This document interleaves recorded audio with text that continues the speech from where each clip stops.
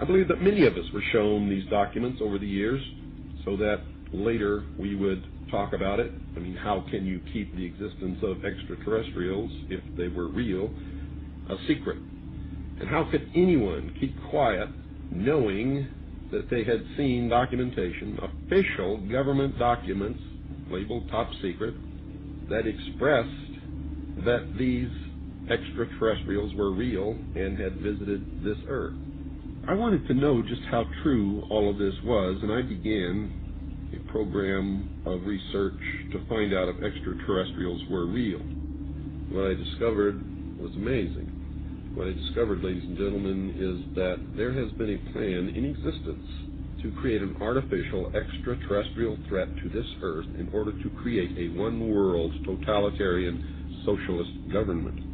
All the bombardment of the public with movies about flying saucers in the 50s, right after the United Nations Treaty was signed and the UN Participation Act was pushed through Congress, and all of the incidents since that have convinced the majority of the American people that flying saucers are real and extraterrestrials exist and that flying saucers are from an extraterrestrial origin.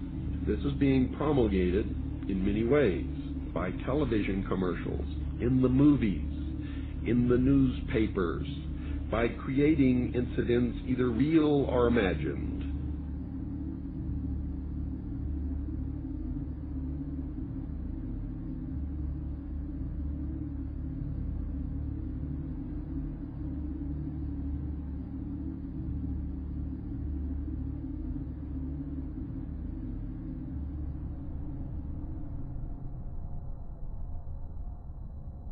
how can a nuts and bolts spacecraft, you know, two objects that are supposed to be made of metallic steel, fly into each other at thousands of kilometres an hour, become one object and then fly off in another direction?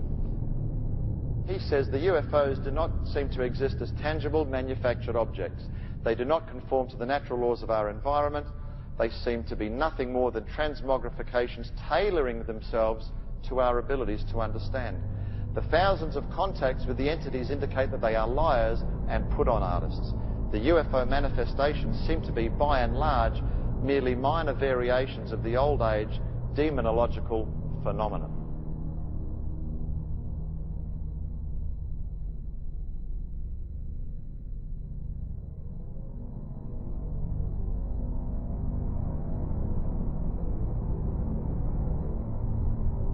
Again, the researchers will show you that the messages being received are deceptive in nature.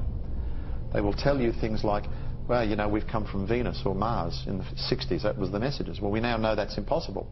Now they say they come from Sirius or Orion or Zeta Reticuli or somewhere far off, where we can't test those claims.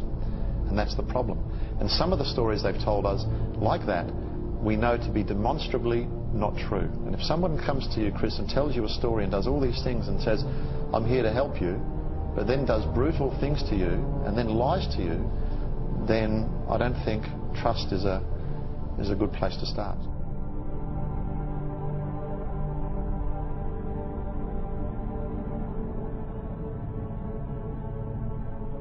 There is no evidence, I wish to emphasize, that these life forms from elsewhere are hostile towards us.